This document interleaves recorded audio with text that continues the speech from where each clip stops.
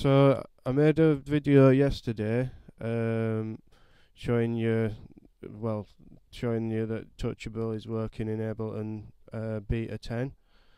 Uh, I'm just trying to show you wavetable here, showing up on the instruments list. It's not even. That's going to drums. Wavetable. It's not focusing but you can see that kind of um, it's also up here on the display it's loaded. Uh, you've got your device control so it, it loads your device controls on there. Um, yeah it's also got uh, the audio effects so it's got your new audio effects uh, drum bus there echo um, and then yeah you can also load your Max for live devices. So these are all Arduino buffer shuffler or Max for live.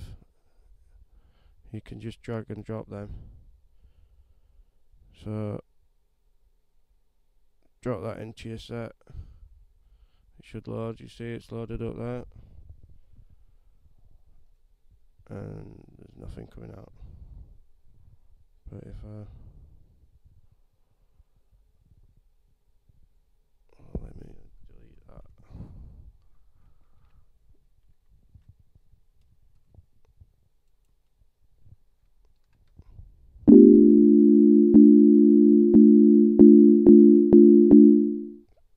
your device control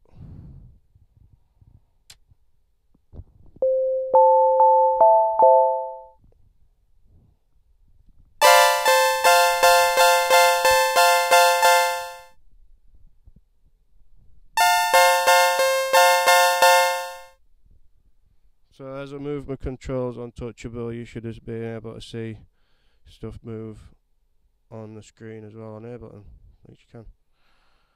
Cool. So that's it.